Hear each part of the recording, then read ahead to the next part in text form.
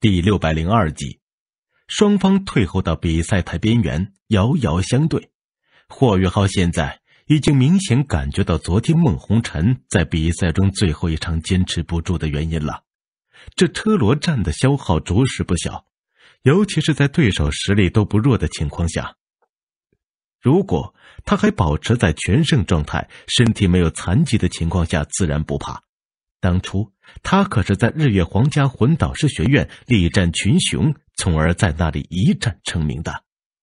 可是他现在能动的毕竟只有右臂，实力何止是大打折扣啊！很多能力根本就用不了。经过前面六场战斗，虽然一直是雪女在战斗，又有她体内的极致之冰天地元力进行补充，但她的魂力消耗依旧不小。别忘了，他的精神探测也一直都是保持在开启状态中的。淡淡的光芒闪烁，霍宇浩再次将小雪女释放了出去。伴随着裁判右手落下，萧叶已经是轻飘飘的朝着霍宇浩这边跑了过来。一边跑，他一边释放出了自己的武魂，两黄两紫一黑，居然和之前的南秋秋一模一样。也是最佳魂环配比的魂王级强者，不太好对付啊！霍雨浩喃喃的自言自语，但他的脸上的微笑却依旧未曾减少半分。叶龙，这就是萧夜的武魂。就在他距离霍雨浩还有五十米左右的时候，脚下突然停顿了一下，紧接着一层漆黑之色就从他身上释放了出来。顷刻间吞噬着比赛台上的一切光线，朝着霍雨浩的方向笼罩了过来。控制系战魂师，霍雨浩第一时间就反应了过来，然后他脸上就流露出了有些不好意思的笑容。控制系战魂师一向比强攻系还要难对付，尤其是在能够克制对手的情况下，就算是以一控多都是办不到的。但是这位控制系战魂王的能力。应该是和黑暗有关。首先要控制的就是对手的视线。没错，霍雨浩的武魂是灵眸，可是他的视线是能够控制得了的吗？有精神探测在，他根本就不需要普通的视觉去看呢。于是乎，观众们就看到霍雨浩似乎傻傻的推动着轮椅的轱辘，就向那片黑暗滑了进去。比赛结束的速度比所有人想象中都要快得多，那片黑暗只是持续了不到十秒，就自行消散了。台上只剩下霍宇浩还是站着，不坐着的。那位名叫萧夜的控制系战魂王已经躺倒在地，明显是昏厥了过去。霍宇浩转过身，向着南秋秋的方向微微一笑：“承让，承让，唐门欢迎你。”这不可能。他他一定是使用了什么非常规手段，否则怎么可能这么快就击败萧夜？南秋秋猛然从待战区中跳了起来。要知道，萧夜可是他们战队的主控魂师，论修为也只是比他差一点而已。他那叶龙的各方面能力相当强大，绝不只是用黑暗控制对手视线那么简单，还有一系列的控制。在黑暗之中，萧夜的能力一旦展现出来。南秋秋也必然要靠泯灭之力去破掉他那武魂的黑暗属性才能制胜，而霍雨浩却几乎只是用了几次呼吸的时间就做到了，而且这一次还不是冻住，这完全已经超出了他理解的范围。裁判冷冷的瞥了眼南秋秋，肃静，比赛结束，唐门对地龙门，唐门胜，积十二分满分，双方队员退场。南秋秋几乎是毫不停顿的就冲入了场地，但却不是冲向萧夜，而是冲向霍雨浩的。他输了，输的是那么的彻底，连自己人都输给了对方，这让年轻的他实在难以接受。尽管他心中明白霍雨浩的实力很强，可却依旧充满了不服。也就在这时，一道身影悄无声息的挡住了他的去路，挡住南秋秋去路的。正是王冬儿，比赛已经结束了，你想做什么？南秋秋怒吼：“让开！”一边说着，他一掌就向王冬儿拍了过去，泯灭之力瞬间释放。王冬儿眉头微皱，右手抬起，同样是一掌拍了过去。浓烈的金色火焰瞬间升腾而起，砰！金色火焰在泯灭之光下收敛，但南秋秋却是踉跄后退，接连退出三四步，险些摔倒在地。他一脸震惊的抬头向对面看去，这才看到那英俊到了极致、一头粉蓝色长发梳成马尾的超级无敌大帅哥。就像所有女人见到王冬儿的第一反应一样，南秋秋的目光也是瞬间呆滞了。王冬儿这张俊脸就像是灵丹妙药一般，瞬间令他的愤怒、憋屈和战斗力下滑百分之五十。好帅呀！南秋秋悄悄的吞咽了一口唾液，嘴上却是失声说道：“魂帝！”一掌震退他，并且是在没有释放武魂的情况下。除了魂帝级强者以外，根本没有别的解释。而王冬儿看上去又是那么的年轻，先前也正是在待战区之中啊！南秋秋心底顿时一片冰冷。原来，原来这唐门竟然如此强大，竟然还有魂帝级强者未曾出场。那刚才坐轮椅的家伙也是魂帝了，这次输的真是并不冤枉啊！可是，可是输了我要加入唐门。不过他真的好帅啊！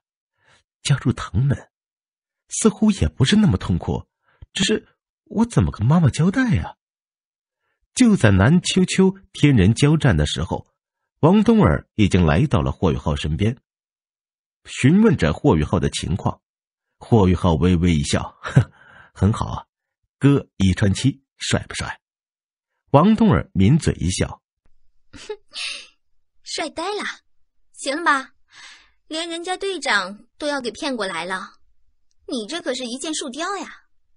不过，你为什么总是会和名字叫秋的有瓜葛呢？是下意识的吗？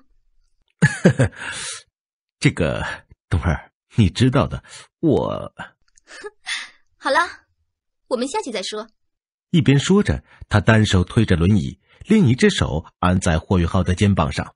浩东之力悄然融合，辅助霍雨浩恢复着消耗的魂力。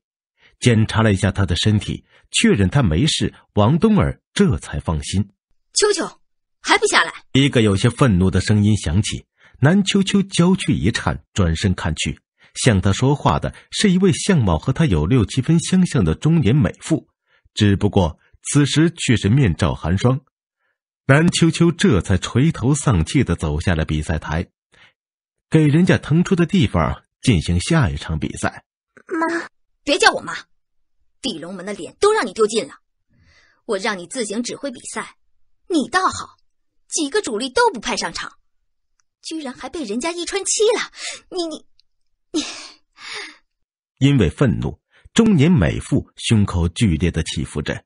妈，我知道错了，可是他们真的很强。那个坐轮椅的。应该是魂帝级强者，刚才拦着我的那个也是魂帝。魂帝中年美妇微微一愣，但脸色却依旧十分难看。南秋秋突然扑通一声跪倒在母亲面前：“妈，我错了。” 中年美妇愣了一下，眼神中流露出一丝不忍之色。毕竟是亲闺女啊，而且南秋秋已经够出色的了。但也正是因为他的优秀，才养成了骄傲的毛病。在地龙门同辈中，她是万千宠爱集一身的大姐头，长辈们喜欢她，同辈的师兄们不只是喜欢她，也让着她。这一次吃了大亏，中年美妇已经下定决心，一定要趁着这次机会，好好的教训教训他，不然以后还不知道要出什么问题。起来，大庭广众的，像什么样子？中年美妇怒喝道。这里是休息区，周围还那么多宗门看着呢。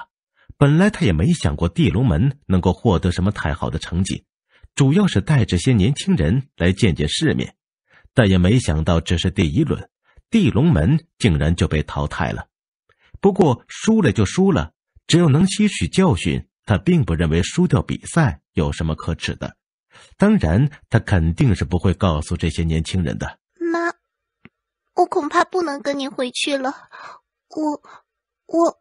南秋秋嗫嚅着说道，低着的头的他眼底却闪过一丝狡黠。中年美妇愣了一下，紧接着大怒：“你敢抗命？别忘了，我不但是你妈，也是地龙门门主，门规如何，你清楚的很。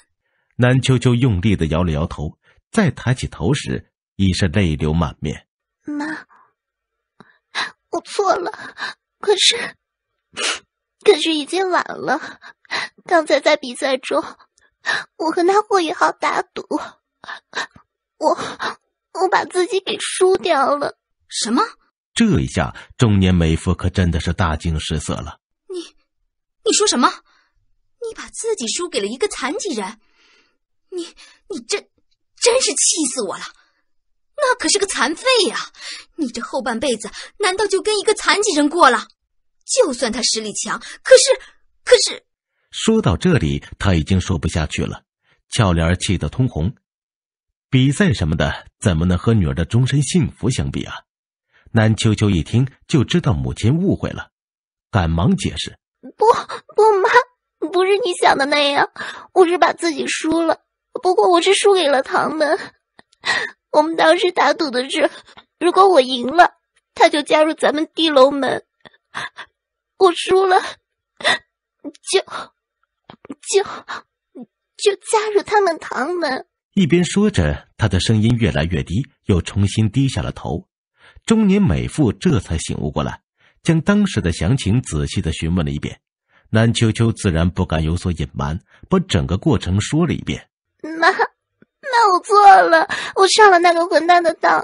可是，可是，人家是愿赌服输，而且他说的对，如果我不遵守诺言的话，以后等我的修为到了瓶颈，恐怕就很难突破了。说到这里，南秋秋的眼泪不禁又流了下来。这位地龙门主也是傻眼了，这真是赔了女儿又折兵啊！不但比赛输给了人家，连女儿都输掉了。身为门主，他当然可以强行不让女儿去唐门，可是那样的话，对于南秋秋的未来就一定会出问题了。深吸口气，中年美妇平静了一下自己的心情，狠狠的瞪了南秋秋一眼，却也同时将他从地上拉了起来。你跟我过来。一边说着。他拉着南秋秋，就朝着已经返回休息区的唐门众人走了过去。唐门这边，霍雨浩已经将自己和南秋秋如何打赌的事情说了一遍，众人的脸色明显都有些古怪。还是何菜头说了句实话：“呃，这姑娘也太好骗了吧！”潇潇白了他一眼：“人家这叫单纯，好不好？是宇浩太狡猾了，把人家骗了，多可怜呀！”不过，咱们唐门多些女孩子也挺好的。正在他们说话的功夫，那中年美妇就拉着南秋秋走了过来。诸位，谁是唐门主事之人？中年美妇面沉似水的说道。唐门众人的目光立刻就集中在了霍宇浩身上。那中年美妇也是微微一愣，心中暗惊：这只能坐在轮椅上的年轻人，竟然还是唐门的主事者。前辈。您好，不知有何指教？从这中年美妇和南秋秋相似的容貌，霍雨浩也能猜到几分了。他也有些尴尬，当着人家妈妈的面把人家女儿给诱拐过来了，这确实是不太厚道的行为啊！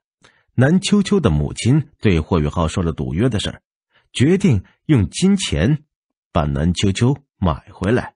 妈，人家又不是货物。